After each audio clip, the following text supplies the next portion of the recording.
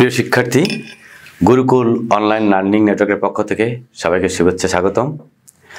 আশা করি সবাই ভালো আছো। আমি সালাউদ্দিন আহমেদ। আজ আলোচনা করব মেইনটেনেন্স গত ক্লাসগুলো যারা দেখেছ, তারা কাটিং মেশিনের বিভিন্ন কার্যক্রম দেখেছ। আজকে আজকে বিষয়টা হচ্ছে মেইনটেনেন্স তো মেইনটেনেন্সটা আসলে কি? মেইনটেনেন্স কাকে বলে? মেনটেন্যান্সটা হচ্ছে যে কাটিং মেশিনের বিভিন্ন কার্যকর অংশগুলো, যে অংশগুলো কাজ করে, সেই কার্যকর অংশগুলোকে যেমন ওয়্যারগুলোকে ধার করা, পরিষ্কার করা অয়েলিং করা, গ্রিজিং করা, এই যে কাজ সেগুলোকে আমরা মেনটেন্স করি। সংজ্ঞাকারে বলতে গেলে আমরা বলতে পারি যে যে প্রক্রিয়ায় কাটিং মেশিনের বিভিন্ন কার্যক্রম অংশগুলোকে পর্যায়ক্রমে কার্যে সচল রাখার জন্য ট্রিটমেন্ট করা সেটা হচ্ছে এক মেনটেনেন্স কাটিং মেশিনে যে সকল মেনটেন্স করা হয় কাটিং মেশিন সাধারণত কী কী মেনটেন্স আমরা করতে পারি? তো এই মেনটেন্সগুলো একটা ধারাবাহিকতা করা হয়েছে। দেখা যাক কী কী কী? স্টিপিং আমরা আগে বলছিলাম যে স্টিপিং আমরা স্টিপিং যে মেকানিজম এটাকে আমরা আগেই দেখছি। যারা আমার আগে ক্লাসগুলো দেখেছ, তারা নিশ্চয়ই জানো যে স্টিপিংটা আসলে কী? তারপরে এখানে একটু আলোচনা করছি। যে কাটিং মেশিনে যে ওয়্যারগুলোকে যে প্রক্রিয়ায় ওখানে সেট বা ফিট করা হয়, সেটা হচ্ছে স্টিপিং যে এই কাটিং মেশিনের ওয়্যারগুলোকে কিন্তু একটা নির্দিষ্ট নিয়মে ফিট করা হয়। সেই নির্দিষ্ট নিয়মটা যেভাবে ফিট করা হয়, সেটাকে আমরা স্টিপিং বলতে পারি। এরপর আছে কি? ব্রাশিং কাটিং মেশিনের যে কার্যকর অংশগুলো, যেমন সিলিন্ডার ডফার টেকারিন ফ্ল্যাট এই কার্যকরী অংশগুলো, যে অংশে ওয়্যার দ্বারা আবৃত, এই অংশগুলো কম্বিং করতে করতে একসময় ভিতরে, কি বলে এটাকে নেপস বা ভাঙা বেদগুলো আটকে যায়। এই ব্রাশের মাধ্যমে এগুলো পরিষ্কার করা হয়, এটাকে বলা হয় ব্রাশিং। এটা এক ধরনের মেনটেন্যান্স এবার কি?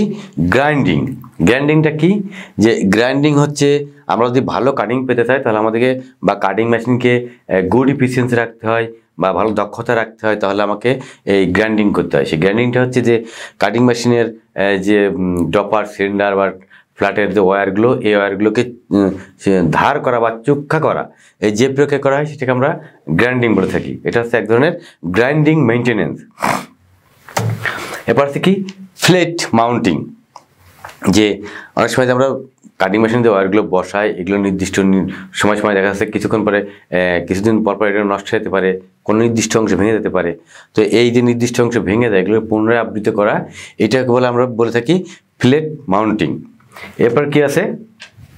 ওয়েলিং অ্যান্ড গ্রিজিং যেহেতু এই পুরা প্রসেসটার নাম হচ্ছে স্পিনিং প্রসেস আমরা বোলোরম থেকে যদি একদম ফিনিশিং পর্যন্ত যাই, তাহলে এটাকে বলা হয় স্পিনিং প্রসেস আমি গত ক্লাসে বলছিলাম যে এটাকে কেন স্পিনিং প্রসেস বলা হচ্ছে?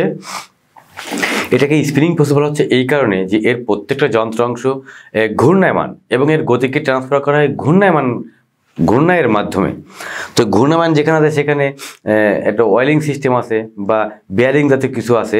তো এই বিয়ারিংগুলোকে যদি আমরা নির্দিষ্ট সময় পর অয়েলিং না করি, তাহলে কিন্তু এই বিয়ারিংগুলো সুন্দরভাবে কাজ করবে না। কাজ না করলে এটি স্মুথলি ঘুরবে না। গত ক্লাসে যেরকম আমি সাইকেলের একটা উদাহরণ দিয়েছিলাম যে একটা সাইকেলে যদি সাইকেলকে যদি তুমি কন্টিনিউকে বিভিন্ন ঘূর্ণমান জায়গায় অয়েলিং বা তেল দিয়ে রাখো, তাহলে কিন্তু সাইকেলটা ভালো চলবে। তো এরকম ঘূর্ণমান জায়গাগুলোকে অয়েলিং বা গ্রিজিং করতে হয়। এরপর আছে কি? মেরামত করা।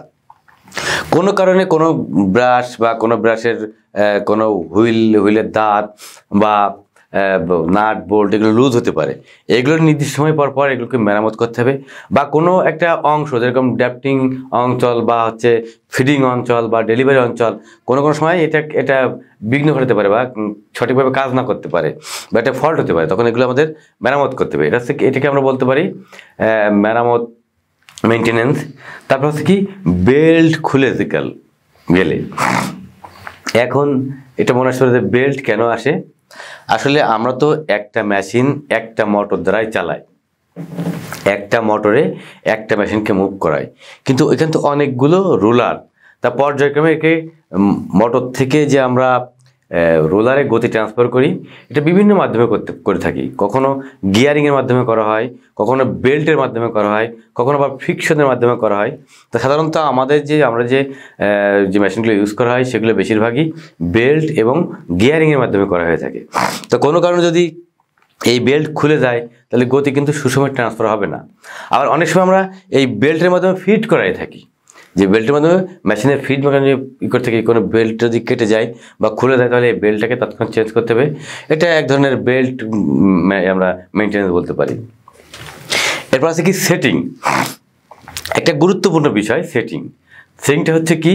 যে কাটিং মেশিনের যে বিভিন্ন যন্ত্রাংশ বা যেগুলো এক সমন্বয়ে কাজ করা হয় এই যন্ত্রাংশগুলোকে নির্দিষ্ট জায়গায়, নির্দিষ্ট নিয়মে, নির্দিষ্ট গতিতে সেটিং করা হয়, তো এটা যে প্রক্রিয়ায় করি, এটা আমাকে, এটাকে আমরা সেটিং মেনটেন্যান্স বলতে পারি।